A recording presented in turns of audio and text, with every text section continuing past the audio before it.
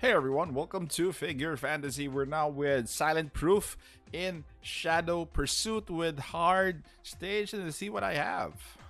Okay guys, so for this one, um, two ultimates should be pulled off from Tia and from Yamazaki.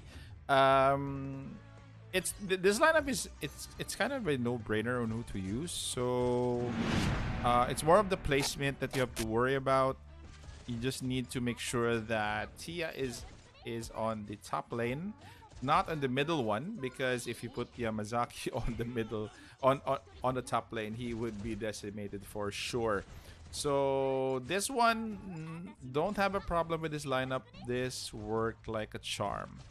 So it's easy for them to pull their ultimate off because again, there's no time limit and they can take their time eventually.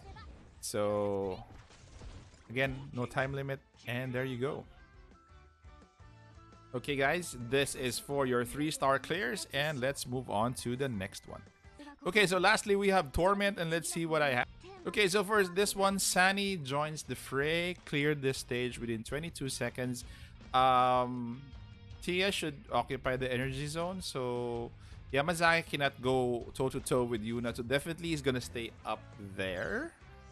Um, this is also not a problem. I've tried this a couple of times and this worked like a charm. So Tia is gonna be dealing most damage anyway. So let's just support her and keep her alive. That is what we need. Um, you can clear this in 20 seconds, I think. If I can recall. Tia is a big damage, by the way, so not a problem in clearing this. we have four seconds to spare. We have three. There you go. And that is it, guys. Your three-star clears. So thank you very much. Take care. Stay safe. This is the Warden, and I'm out of here.